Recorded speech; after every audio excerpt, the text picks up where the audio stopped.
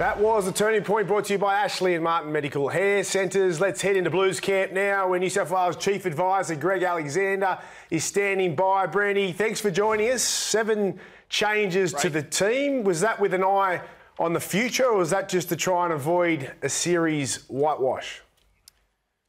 Uh, Braith, I, I think primarily it's a, it's a side that, you know, we think can win next Wednesday night. So, um, you know, I, I, guess you know, Bradman Best um, in the side to make his debut. You could say, you know, there, there's a couple of spots there that might be an eye on the future, but primarily it's a side that we, you know, we want to win the game next Wednesday night. We want to avoid a, a, a whitewash, uh, and yeah, we're desperate to win. So we think this side can do it.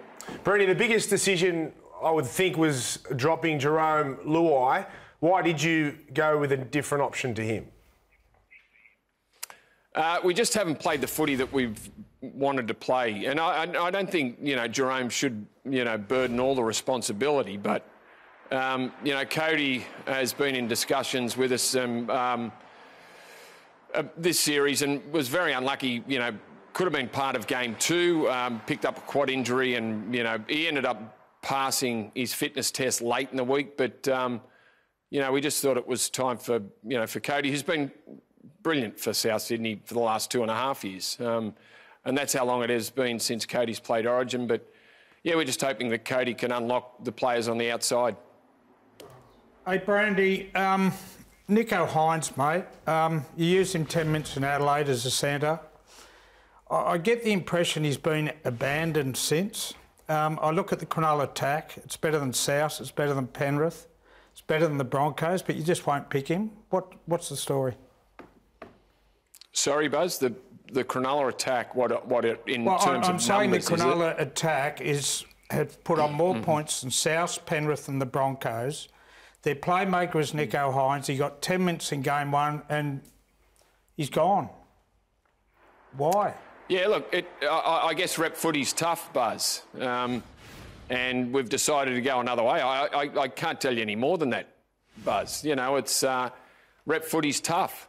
Um, but does he get an explanation, the, the Brandy? I, I, think it's really rough that um, that yeah, uh, well, he, sure he, got you, 10 minutes out of position in game one, and yeah. he was the Dally M winner well, so clearly. And he's yeah, just Buzz, been when, abandoned when, when now. A, okay, when, when, you picked in a rep side, Buzz, as a utility, you, you've got to be ready to play anywhere. Uh, that's, that's, that's fact. Sometimes you have to play out of position. Uh, unfortunately for Nicho, it, it, was that night. And um, look, he's been in great form, but we, have decided to go another direction, Buzz. So it's, it's, it's tough and sometimes it can be brutal. Um, do I feel for Nicho? Yes. Uh, does he de- deserve an explanation? Well, I'm, I'm, sure he's spoken to Freddie about it. So sure. Um, I, I, don't know what else you, you want, Buzz. You, you, you want him, did you want him in this side? Oh, look, I'm just doing my job and asking why. Oh, no, I was just wondering. Yeah, okay. Oh, look, look, well, I, I, could go on. He's not the only player, Brandy, who's had 10 minutes. You picked Stefano in game two in Adelaide. He got 10 minutes and he's gone. I worry about what it does for the confidence of these players. I'm not being rude to you. I'm respectfully asking no, I'm you. Sure, but Buzz, yeah, well, I'm, I'm sure it's tough on them, but um, in terms of Stefano, uh, Jake Trbojevic hasn't been available until this game. Uh, Regan Campbell Gillard came back against the Bulldogs before game two, and we just thought with Reg having a two month layoff with his groin injury, that he probably wasn't ready. So Stefano got his chance. And unfortunately, you know, it didn't work out for Stefano. He didn't get much game time and he's been overlooked for this one. I'm, I'm disappointed for Stefano, of, yeah. of, course I am, but he's a good young footballer, and I'm sure he'll just get on with his career with the Tigers. Uh, we've Fair gone enough. with Jake and Regan Campbell Gillard for this one. Brandy, can I ask you? I think that's the seventh time in the in the Freddie era that you've made seven, seven or more changes from one game to the next. What what does that say about the selection policy, the theory of sticking and picking, about giving guys an opportunity? What what does that say about that? Well, I well you stick and pick. Well, Reedy, there's a whole lot of things that come into picking a side. Um, you know, it's form. Uh, it's players that have been there before. Uh, even if players haven't uh, been playing their best, do they deserve another chance? Um, there's a lot of things that come into the selection process. It's not just picking and sticking. We've lost two games.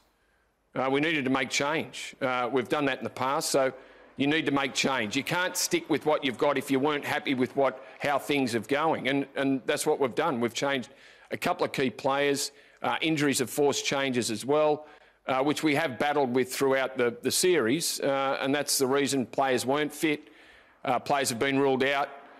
that's why there's there's changes, and we got beaten and, and beaten well in Queensland. So I, I think that's the primary that's the primary reason for change. Brenny, Buzz asked you about Nicho, and I feel for Nicho. I think everyone does. But Matt Burton's another guy. If you're listening to the reports before the game yesterday, Matt Burton's in the team left centre. Bradman Best scores three tries. Hadn't been discussed by anyone at all leading into the series. Suddenly, Matt Burton's out. You know, you've got pe- people at Penrith saying, why isn't Izack Tago in there? Parramatta, why isn't Will Penisini in there? Can you understand that viewpoint that you know Matt's had a bad day, Canterbury's had a bad day, and you've just dispensed, you've gone another path based on basically one game? But that's what it feels like. Now it, that might be accurate, but that's no, how it you, feels. You, you, you, you are you that that is rude to Bradman Best, Brent. That is that that is being rude to Bradman Best. Now, do you think Bradman Best, who was a star as an 18-year-old coming through the pathways, do you think what he's wanted to do all his footballing life was play Origin, and, and now you're talking about him, him representing New South Wales on the back of one game. No, I'm that, saying that is, that's, no, that's being I'm disrespectful that, to no, Bradman Best. That's not what I'm it saying. Is being, being disrespectful to, to Bradman Best. No, I'm not, I'm not being rude to him at all. He's a good player. But I'm saying, leading into that game yesterday, every every story you read, everything you heard heard was Matt Burton was going to be picked at centre, and Bradman. I don't think Bradman's name had ever been been mentioned.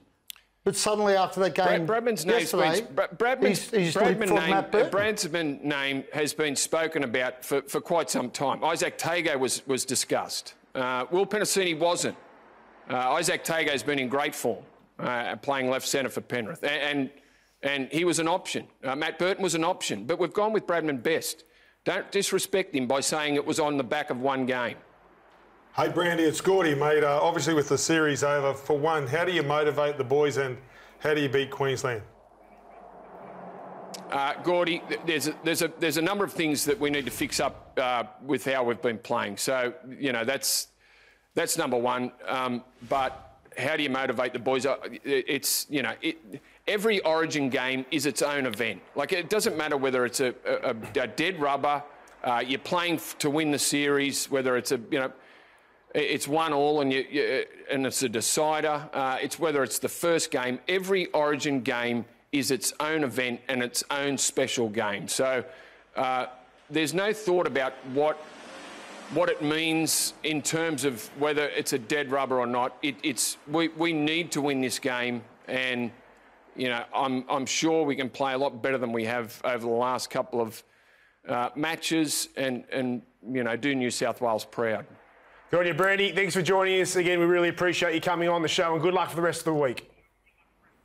Thank you, Braith.